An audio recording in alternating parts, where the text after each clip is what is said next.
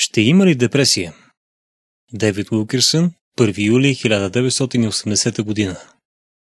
Въпросът дали ще оцелеем е обхванал тази нация. Някои економически експерти предупреждават американците да бягат от градовете, да си купят къща или място в провинцията, да се запасят с суха храна и муниции, да скътат на страна малко злато или диаманти и да се приготвят за ужасяваща депресия. В този момент економически мрак е покрил страната като облак черна прокоба. Безработицата се раздраства и на някои места от страната е почти толкова голяма, колкото беше по време на депресията през 30-те години. Навсякъде където пътувам, хората ме питат, Дейвид, на къде си е запътила нашата нация? Това ли е економическата буря, за която ти предупреди в книгата си Видението от 73-та година? Ще имаме ли още една голяма депресия? Какво чуваш от Господ за настоящия проблем?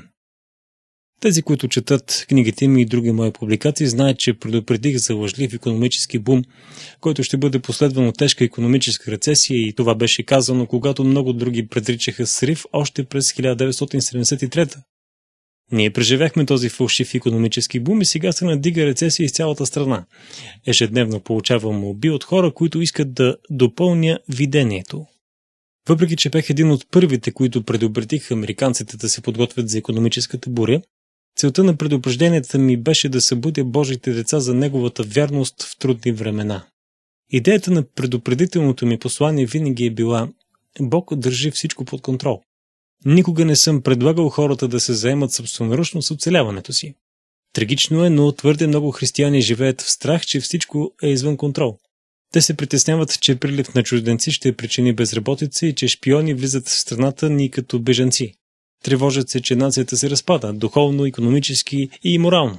Притесняват се, че економиката ще се сридне и че ще има анархия, която ще обезлюди градовете, че храната ще стане оскъдна, че инфлацията ще стане неконтролируема, че децата им ще трябва да се изправят пред един свят на тотален хаос.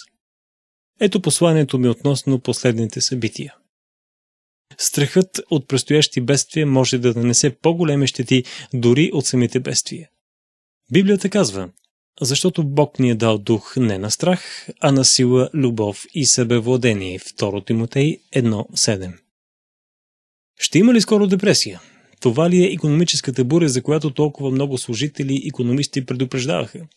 Ще се превърне ли сегашната депресия в една по-голяма и дълга депресия? Или това е поредното краткотрайно нагаждане на економиката?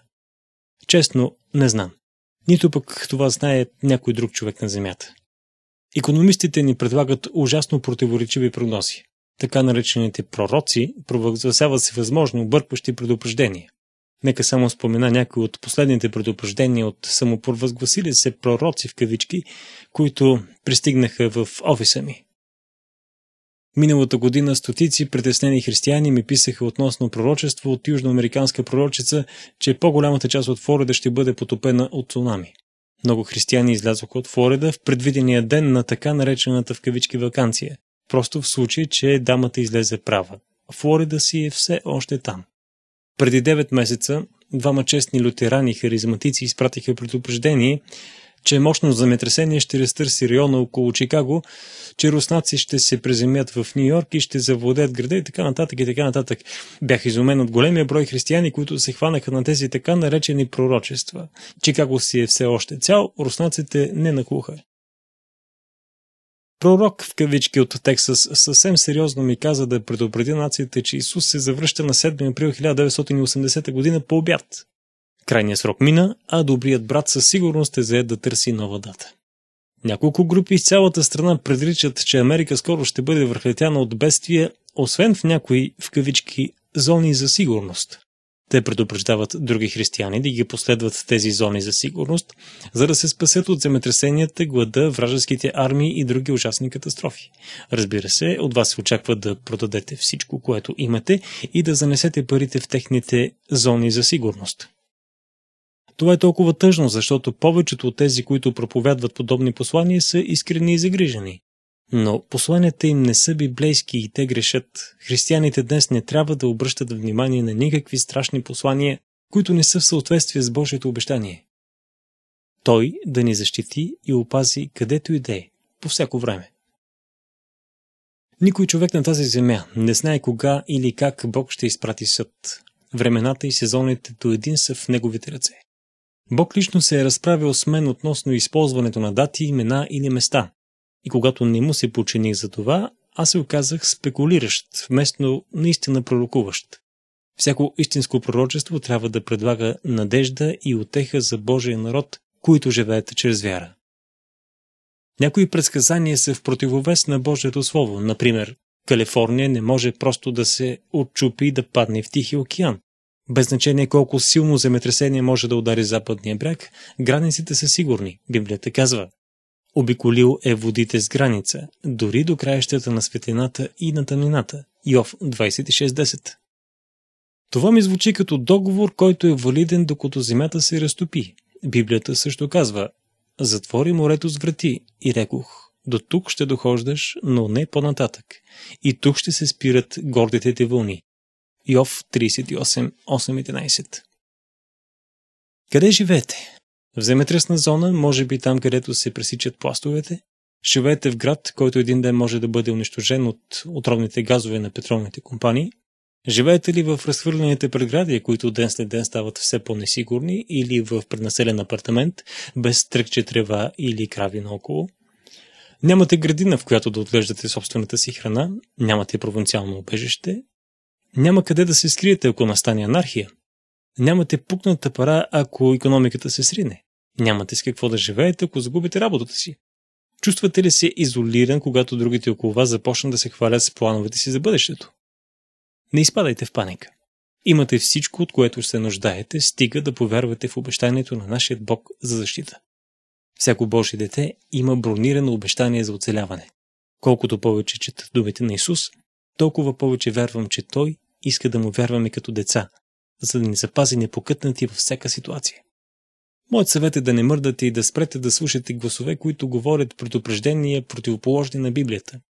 Защото Бог не е Бог на безредие, а на мир. 1 Коринтияни 14.33 Павел отказа да използва дати или да слага времена, сезони в пророчествата си. А за годините и времената, братя, няма нужда да се пише. Първо Солунци 5.1. Павел дори каза, че Христос работи като градец в тъмното. Движи се неочаквано, когато най-малко го очакват. Исус също ни предупреди да не се паникосваме, когато лъжепророци се появят на земята. Той каза, прочие, ако ви кажат, ето, той е в пустинята, не излизайте или ето той е във вътрешните стаи, не вярвайте. Матей 24-26 Христос ни предупреди да не вярваме на мъже и жени, които твърдят, че имат тайно откровение за това кога и къде Христос ще удари със светкавицата на съда. Не ще се боиш от внезапен страх, нито от бурята, когато нападне нечестивите, защото Господ ще бъде твое упование и ще пази ногата ти да се не хване. Притчи 3, 25-26 Второ. Приеми инструкциите за бъдещето от Бог. Не дей да зависиш от Дейвид Уилкерсън да ти каже бъдещето. Ако си Божие дете, ти можеш да чуеш гласа му точно както и аз. Не дей да зависиш от Джим Бейкър от PTL или Пат Робинсън от Клуб 700. Не дей да зависиш от някого, за когото вярваш, че има дарът на пророчеството, за да ти каже бъдещето. Преди няколко години ми стана тъжна, когато служители ми казаха, че съм съсипал техните програми за строеж чрез предупредителното си послание в видението. Един от тях ми писа, Моята църква наложи вето върху програмата ни за строй, защото те мислят, че ти пророкува депресия. Хиляди хора четоха видението и го изхвърлиха ядосани. Проблемът беше, че те не намериха време да прочетат посланието ми към християните на гръба на книгата, че Бог държи всичко под контрол. Бизнесмени от целия свят се свързват с мен, включително и банкери, и индустриалци, дори от Япония. Дори еврейски бизнесмени ми искат съвети за бъдещето. Аз не давам никакъв съвет на никого. Аз казвам на християните, познавате Господ толкова добре, колкото го познавам и аз. Той няма да ви държи в неведение. Той ще ви покаже какво да правите специфично за собствените си нужди. Признавам, че понякога не съм бил прав. Понякога съм бил прекалено ревнив и неволно съм се подхлъзгал в спекулации. Нито една от книгите ми не е безгрешна. Те наистина са честни, но те не са Евангелието. Сигурен съм, че съдържат грешки и никой християнин не трябва да планира живота си или бъдещето си на това, което аз или който и да е друг служител казва. Покорете се на Словото. Да, но в същото време се научете сами да чувате Бог. В това да имате в кавички пастир, който да ръководи бъдещите ви планове, няма нищо библейско и е опасно. Нямам нищо против да ви казвам какво мисля, че се случва в момента. Това не е вдъхновено, не е пророчество, а просто това, което лично аз смятам, че ще се случи. По-малко съм притеснен за настоящия финансов спад, отколкото бях през 73-та. Не считам, че това вече е голяма рецесия, а економиката може да се подобри към края на годината. Можем да видим бърз завой и нов фалшив бум. Не знам. Това е само това, което аз мисля, но може би много греша. Но ако економиката се възстанови, смятам, че Божият народ трябва да бъде ясно предупреден от това, което виждаме в момента и да използва този фалшив бум да си подреди нещата. Знаем колко бързо може да ни връхлети депресията. Може ли пък Бог да ни дава да разберем колко са крехки материалните неща и че трябва да се върнем към истинските ценности? Също така, ако Бог разтърси тази земя с дълбока и дълга рецесия, цялото това наблягане на проповедите на просперитета на материалистичната вяра ще се провали. Такива служители ще се изправят срещу негодованието на хиляди разочаровани християни, които не са били подготвени за страдания и трудни времена. Някак си Бог ще ни принуди да се върнем отново към смирението, простотата и ревността към мислите. Ако прекарваш време на колене в скришната молитва на стаечка, ти не се притесняваш за бъдещето. Бог прави най-чудесното нещо за тези, които са се обърнали към Него с проста вяра и детинска молитва, търсещи таководство. Той изпраща обновено лично водителство. Имаш ли нужда от посока в момента? Планове за строеж, разширение на бизнеса ти, въпроси за следващия ход, лични проблеми. Бог може да ти каже какво да направиш, кога да го направиш и как. Той изпитва удоволствие от това да направлява стъпките ти. Бог винаги дава специфични указания на тези, които са готови да му се покорят и които вярват, че той е загрижен за всеки детал от живота. Знам, че има някои, които ще ми пишат, Девид, кой съм аз, че да вярвам? Има толкова много противоречия, предсказания пророчества и всички те изглежда идват от мъже и жени, които изглеждат много святи. Кои сме ние, че да вярваме? Ти трябва да вярваш само това, което Святия Дух потвърждава в сърцето ти, че е истина, като го свериш с Божието Слово и усърдна молитва. Всъщност, това вече става наистина смешно. Толкова много предсказания и толкова много противоречия, което е много добра причина всеки вярващ да бъде в личен контакт с Господ. Молещият се християнин може да чуе всичките тези предупреждения, да изследва всяко от тях, да приеме онова, което си заслужава и да не се притеснява за останалото. Всички послания от Божия трон ще бъдат индивидуално потвърдени на всеки молещ се християнин. Уповавай на Господа от все сърце и не се облягай на своя разум. Във всичките си пътища признавай Него и Той ще оправя пътеките ти. Притчи 3, 5, 6 аз ще те вразумя и ще ти кажа пътя, по който трябва да ходиш. Ще те съветвам, когато върху тебе ще бъде окото ми. Псалм 32.8 Ще благославям Господа, който ме е вразумил. Още и в нощно време не учат вътрешностите ми. Псалм 16.7 Трето. Бог има авариен план за всеки вярващ по време на криза. Без значение колко несигурен става света, Божият народ може да се отпусне и да остави радостта си да се лее, защото Господ е обещал специална защита, когато най-много се нуждаем. Бог нямаше ли авариен план за децата на Израел по време на световния глад? Той прати Йосиф в Египет и стигна го до министър-председател, напълни складовете с достатъчно жито да изкара глада. Тогава закара народа си на една ръка разстояние от тези хамбари и ги храни докато траеше глада. Нямаше ли Бог авариен план за Илия? Докато неговата нация се улюляваше под удара на економическата разруха и храната беше оскъдна поради глада, а злият цар беше обявил награда за главата му, Бог приведе в действие аварийния си план за Илия. Той го скри при тих поток и го храни, като накара птиците да му доставят храна. Планът за оцеляване включваше също и мистериозна каза жито, която никога не се изпразни. Ами Ной, колко детайлен план за оцеляване имаше Бог за него и за семейството му. Ковчег, плаващ безопасно с него и семейството му на всичката смърт и разрушение по време на потопа, унищожи в света. Ами Лот. Бог всъщност изпрати ангели да го извадят лично, него и децата му от обречения Содом. Божите ръце бяха вързани, докато Лот не беше изведен безопасно от предградията. Това беше повече от загуба на работа, повече от економическа разруха, повече от падане на правителството, Това беше тотално изтребление на неговото общество. Но Лот беше изваден безопасно. Павел доказа Божият авариен план при непредвидени обстоятелства отново и отново.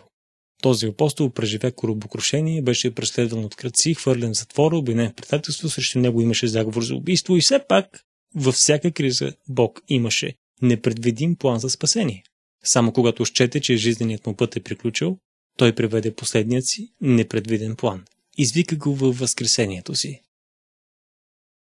Ние също имаме авариен план за оцеляване, направен специално за всеки вярващ. Нека не се съмняваме в това. Бог ще ни изведе от всяка криза. Няма криза, която Сатана може да хвърли срещу Божиите деца, която да е в състояние да ги повали. Нито депресия, нито глад, нито загуба на работа, нито болести, страдания от какъвто и да е вид. Бог ще избави децата си с издигната и мощна ръка. Няма нито една причина за страх. През 1973 година написах Видението. Това послание е точно толкова уместно днес, колкото беше и тогава. Това е темата на моето творчество и моето служение. Бог държи всичко под контрол. Библейското послание към всеки истински вярващ е А когато почне да става това, изправете се и повдигнете главите си, защото изкуплението ви наближава. Лука 21-28 Човешките сърца се подават на страх от онова, което се случва на земята. Хората се ограждат, спестяват и приготвят за наближаващата световна рецесия. Дори посветени християни са повярвали в тази вълна на страх и тревога за бъдещето. Хората се страхуват, че кораба потъва. Човечеството купнее за сигурност и това е довело до епидемия от разграбване на къщи, земя, пари и сигурен доход. Всичко ли ви се струва страшно? Истината плашеща ли е? Едно нещо е сигурно.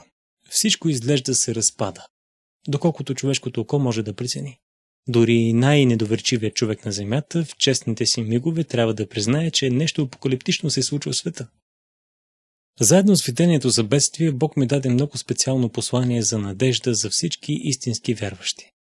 Аз отначало опитах Бог за всички неща, които видях, че наближават. Помолих го да ми каже как християните биха могли да направят всичко, което трябва да направят в ограниченото време, когато толкова много хора бегаха и отиваха да се крият. Как може християните да не допускат страха в сърцата си? Как биха могли да гледат всички тези новини и да очакват бедствията и катастрофите без да се страхуват за домовете и децата си? Дали да абдикират и да върнат този стар свят на дявола и да го оставят да управлява по неговия си начин? Дали да платят всичките си сметки, да заделят нещичко в банката, надявайки се, че ще дойдат по-добри дни? Дали да купят ферма или повече земя и да избягат в провинцията, надявайки се да избегнат идващите трагедии? Да оставят ли мотивацията им да умре и да се предадат на страха? Дали да оставят всичките си мечти и амбиции да се превърнат в учелници, търсещи истината? Скъпи приятелю, чуй какво казва Святия Дух. Само пет прости думи, но толкова мощни, че събудиха у мен славна нова надежда и вяра. Тези пет малки думи са Бог държи всичко под контрол. Това е така. Всичко е под контрол. Ти и аз и всичко, което се докосне до нас, е под контрола му. Истина е. Няма значение как изглеждат нещата в този опиянен свят. Всичко все още работи за доброто на всеки, който обича Бог и е призован според неговото намерение. Римляни 8.28 Нека доларът падне. Нека дойде рецесия и депресия с безработица и страх. Нека има земетресение и инфлация. Нека има войни и слухове за войни. Нека обществото се разпадне. Нека човечеството стигне до пиянския ръб на катастрофата. За истинското Божие дете всичко все още е под контрол. Наистина няма значение. Нищо не може да навреди на тези, които живеят под сянката на неговите всемогъщи криле. Сянката на всемогъщия е по-голяма от всяка страшна сянка, която този век може да проектира. Божиите деца не трябва да се страхуват. Децата му никога няма да просят хляб и той ще снабди всяка истинска нужда до последната минута. Бог не е обещал децата му да не страдат, но е обещал да не се изправим пред нуждата. Не ни е обещал световен мир, спокойствие, сигурност или продължително финансово благосъстояние. На нас ни е обещан мир и сигурност в душата и в ума, свръхестествено снадяване на всяка истинска нужда и уверение, че никога няма да просим хляб. Бог по-скоро би позволил да бъдем на мястото, на което беше апостол Павел, когато каза Когато имате прехрана и облекло, те ще ти бъдат доволно. Първо Тимотей 6.8 Бъдещето изглежда зло. Но Давид каза в псалмите, няма да се страхувам от зло. Псалм 23.4 Това е посланието за вярващите днес. Бъдещето също е под неговия контрол, така че не трябва да се страхуваме. Бог вече го е програмирал. Той знае точният момент, в който ще се завърне Исус. Последната скръп, съда и битката при Армагедон до едно са в календара му. Бог, който контролира цялото небе и земя, каза Ето, народите са като капка от ведро и се стичат като ситен прашец на везните. Всичките народи са като нищо пред него. Считат се пред него за по-малко от нищо. Исае 40.15-17 Бог иска да продължим да работим до връщането на Христос. Това не означава просто да работим така, все едно за връщането никога няма да се случи, а да живеем все едно, че Той идва утре. Бог все още брои космите на главата ни. Все още брои падащите връбчета. Все още чува молитви преди да са били отправени. Все още отговаря преди да са го молили. Все още дава много повече, отколкото може да искаме или мислим. Така че, защо да се страхуваме? Готови християни, събудете се. Всичко е под контрол, а Бог работи. Той спасява, изсерява, кръщава и подрежда дома си. Да се страхуваш е равно на богохулство. Заповядано ни е да се окоръжаваме един друг в Господа и да започнем да пеем и да се радваме, когато видим, че последния час наближава. Чувам ли някой да пита, но как мога да се радва, когато виждам този стар проклет свят, разпадащ се на парчета? Моят отговор е отговор от Библията. Понеже знаем, че цялото създание съвкупно въздиша и се мъчи до сега, ожидаме изкупуването. Римляни 8, 22, 23 Жена, която ражда, може да крещи от болка. Въпреки това в сърцето си тя се радва поради новороденото. Божието царство идва. Царството на Сатана пада. Така че християните могат с вяра да кажат Бог държи всичко под контрол.